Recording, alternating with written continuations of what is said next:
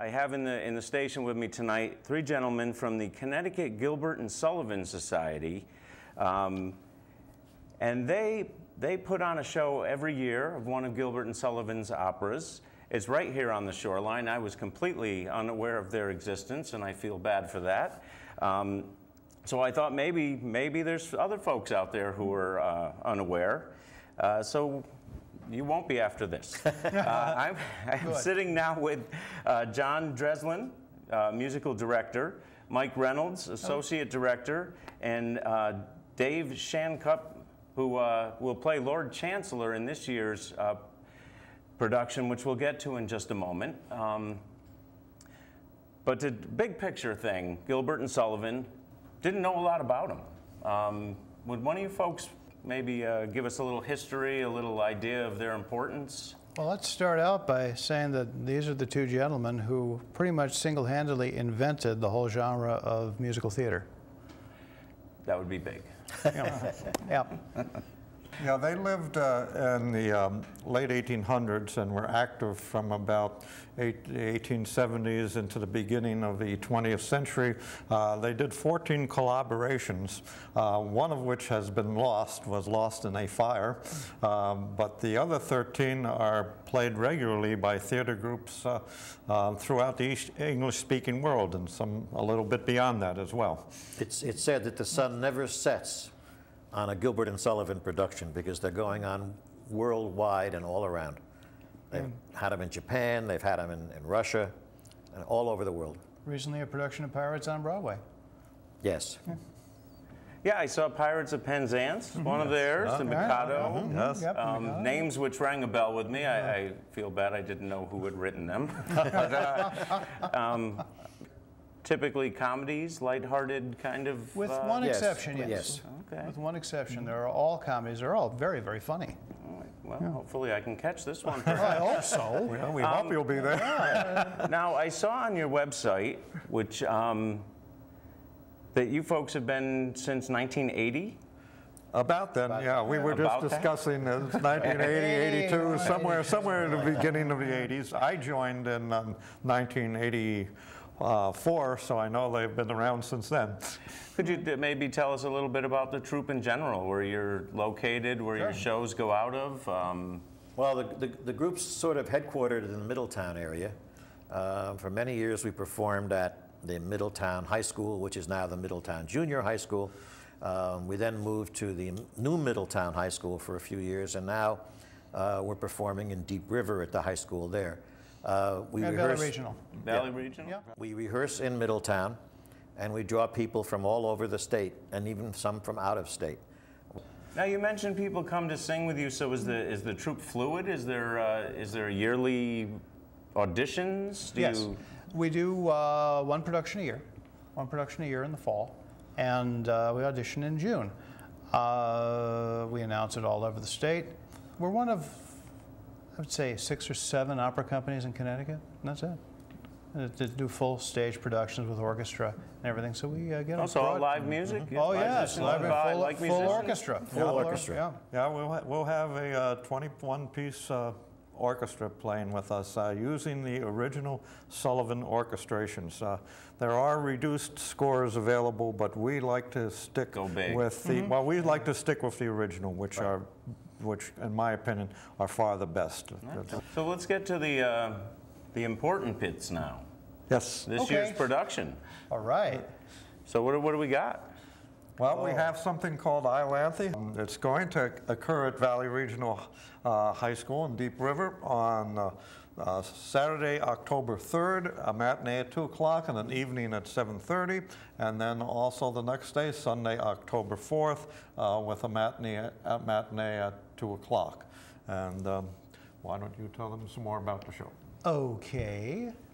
Well, it's got a lot of fairies in it. They're uh, English fairies who uh, fall in love with the House of Lords. Oh. The entire House of Lords, the whole house of the upper house of the English Parliament, they all come in.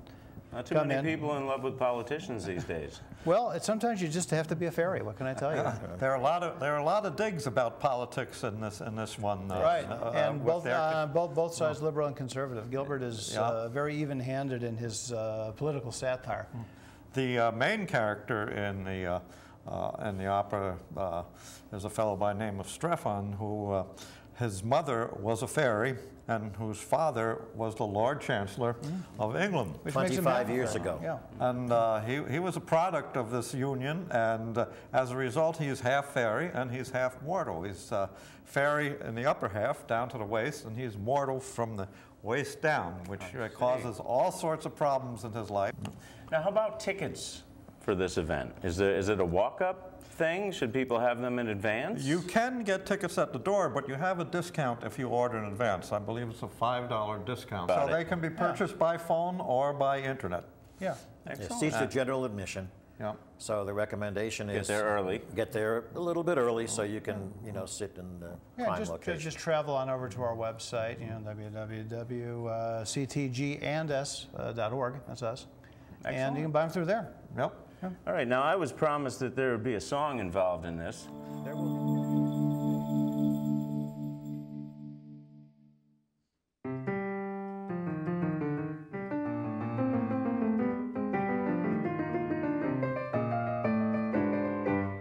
Love unrequited robs me of my rest.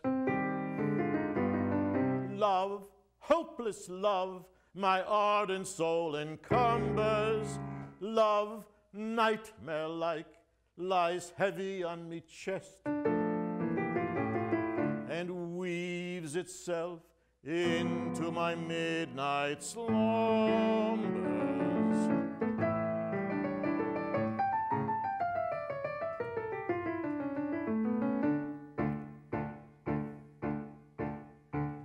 When you're lying awake with a dismal headache and repose is tabooed by anxiety, I conceive you may use any language you choose to indulge in without impropriety. For your brain is on fire and the bedclothes conspired of usual slumber to plunder you. First your counterpane goes and uncovers your toes, then the she slips demurely from under you.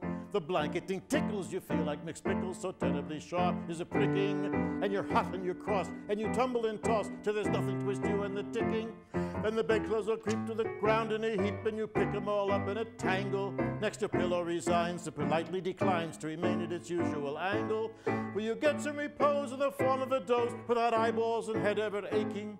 But your slumbering team with such horrible dreams, you very much better be waking. For you dream you are crossing the channel and tossing about in a steamer from Harwich, which is something between a large bathing machine and a very small second-class carriage.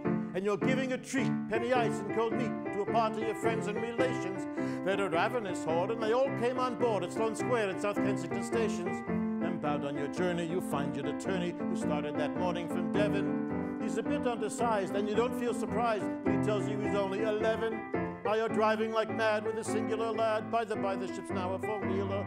And you're playing round games, and he calls you bad names when you tell him the ties pay the dealer.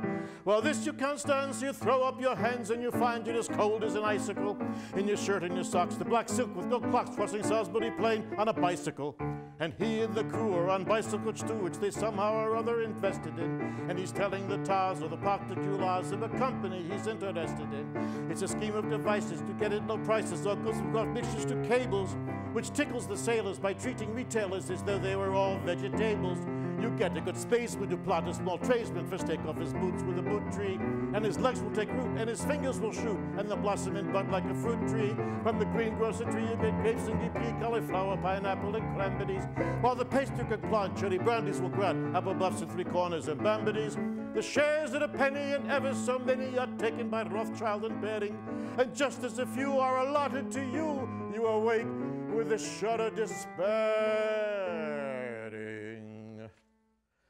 You're a regular wreck with a crick in your neck, and no wonder you snore, for your head's on the floor, and you've needles and pins from your soles to your shins. Your flesh is a creep, and your left leg's asleep. There's a cramp in your toes, and a fly on your nose, some fluff in your lung, and a feverish tongue, and a thirst is intense, and a general sense that you haven't been sleeping and come over. But the darkness has passed. It's daylight at last. The night has been long, ditto, ditto, my song. And thank goodness they're both of them over.